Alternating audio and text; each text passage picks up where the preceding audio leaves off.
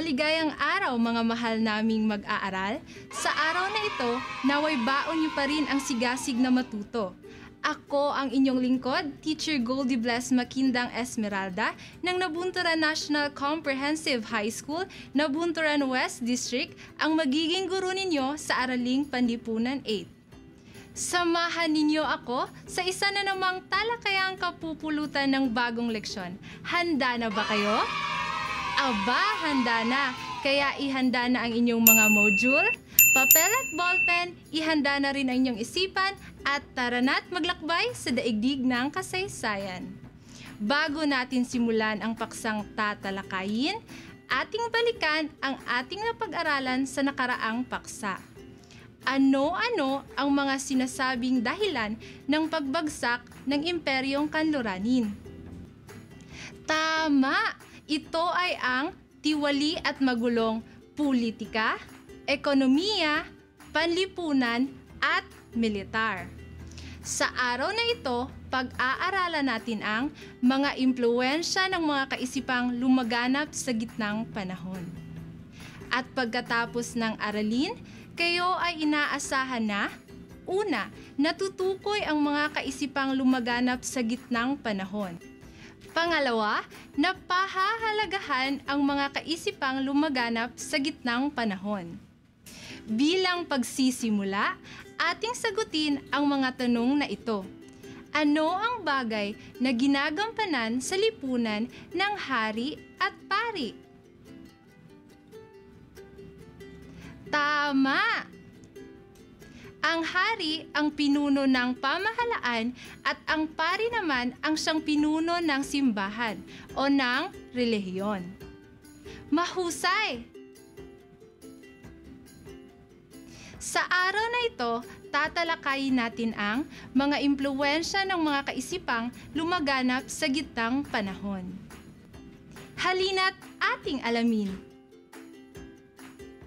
Noong gitnang panahon o tinatawag na Middle Age ay may dalawang sistema ng pamumuhay ang kanilang lipunan. At una rito ang tinatawag na feudalismo ang feudalismo o feudalismo ang sistema ng pamamalakad ng lupain na kung saan ang lupang pag-aari ng Panginoon o may-ari ng lupa ay ipinasasaka sa mga nasasakupang tauhan na may katungkulang maglingkod at maging matapat sa Panginoong may-ari. Ang hari ang kinilalang makapangyarihan sa sistemang ito. Isa siyang Lord o Panginoong may lupa. Ang iba pang katawagan sa Lord ay Liege o Suzerain. Sa panahong ito, tinuturing na vassal o isa ring lord kapag siya ay may-ari ng lupa at maaaring may dugong bughaw. Nobility naman ang turing kapag may dugong bughaw na magiging vassal ng hari. Ang hari, ayon sa katapatan ng isang tauhan, ay maaari niya itong pagkalooban ng lupa. Ang lupang ipinagkaloob ng hari sa kanyang vassal ay tinatawag na fief. Investiture naman ang tawag sa seremonya kung saan binibigyan ng Lord ang vassal ng fief. Sa kabilang banda, ginaganap din ang isang seremonya na kung tawagin ay homage kung saan inilalagay ng vassal ang kaniyang kamay sa pagitan ng mga kamay ng Lord at nangangakong maging tapat. Nahahati sa tatlong pangkat ang lipunang Europeo sa panahong feudalismo. Nariyan ang pari, kabalyero at serf ang pari ay hindi tinuturing na natatanging sektor ng lipunan sapagkat hindi na mamana ang kaniyang posisyon dahil hindi sila maaaring mag-asawa. Maaaring manggaling ang mga pari sa hanay ng maharlika, manggagawa at mga alipin. Ang kabalyero o knight naman ang unang uri ng mga maharlika tulad ng mga Panginoon ng lupa na maaaring magpamana ng kanilang lupain. Isang mandirigmang nakasakay sa kabayo at nanumpa ng katapatan sa kaniyang Lord. Sila ay grupo ng matatapang na kalalakihang nagkusang loob na maglingkod sa mga hari at may-ari ng lupa upang may proteksyon mula sa mananakop. Dahil hindi pa gumagamit ng salapi, mga kapiraso ng lupa ang kapalit na bayad sa kanilang tapat na paglingkod. Sa panahong ito, na ipamalas ang katangiang lubos na hinangaan sa mga kabalyero ito ang chivalry, maginoo, katapangan at saloobing kristyano. Serf naman ang bumubuo ng masa ng tao noong medieval period.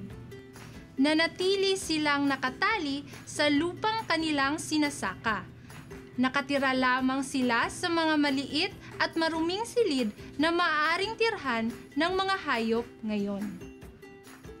Ang serf ay nagtatrabaho sa lupain ng kanilang Panginoon nang walang bayad at walang karapatang umangat sa antas ng lipunan. Ngayon naman ay tatalakayin natin ang manorialismo.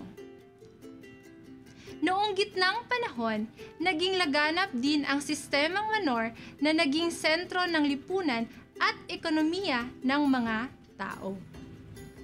Ang manor ay isang malaking lupang sinasaka.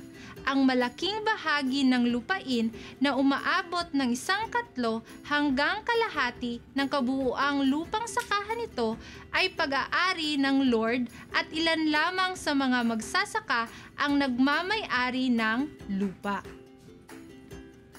Narito naman ang ilang kaisipang lumaganap noong gitnang panahon. Una, sistemang barter. Pagpapalitan ng produkto ng mga tao sa pamamagitan ng pagdadala ng mga produktong bukid o produktong gawa sa bahay sa mga lokal na pamilihan. Pangalawa, perya itinatag ng mga Panginoong Pidal kung saan nagtatagpo ang mga mangangalakal. Dito nagsimula ang paggamit ng salaping barya na dahil sa pagsingil ng multa sa perya. Dito din nagsimula ang konsepto ng pagbabangko. Pangatlo, pagbabangko. Isang konsepto kung saan ang isang mangangalakal ay maaaring magdeposito ng salapi sa isang lungsod at bibigyan siya ng resibo ang diniposito niya ay maaari niyang kolektahin sa ibang lungsod. Pang-apat, Borgis, men of burg o bourgeoisie. Binubuo ng mga negosyante at bangkero na nakilala mula ng umunlad ang kalakalan at industriya sa mga bayan kinilala bilang nasa gitnang uri o middle class dahil mababa pa rin ang pagtingin sa kanila ng mga Panginoong Pyudal. At yon ang mga kaisipang lumaganap noong gitnang panahon. Naiintindihan ba ninyo ang paksang ating tinalakay ngayong araw? Magaling!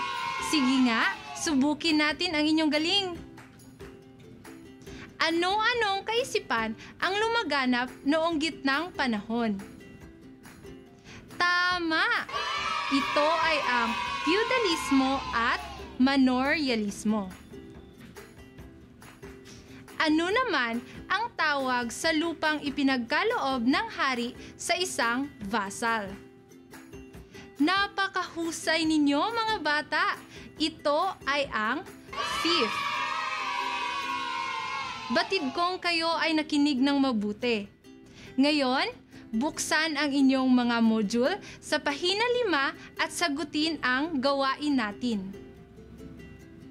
Ibigay ang pagkakatulad at pagkakaiba na sistemang enkomienda na umiral sa panahon ng pananakop ng mga Kastila at sa feudalismo at manorialismo na umiral sa Europe. Kompletuhin ang Venn diagram. Bibigyan ko kayo ng sapat na oras upang sagutin ang gawain.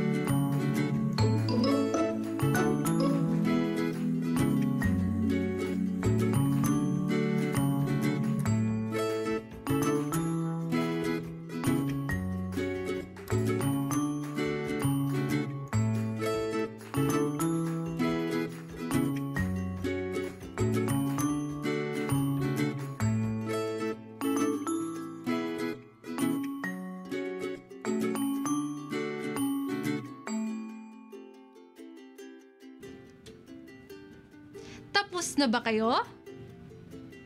Mahusay!